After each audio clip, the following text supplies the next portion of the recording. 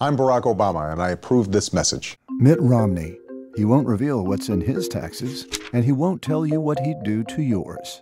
To pay for huge new tax breaks for millionaires like him, Romney would have to raise taxes on the middle class. $2,000 for a family with children, says a nonpartisan report. You could lose the deduction for your home mortgage, college tuition, health care. How much would you pay? Romney just won't say.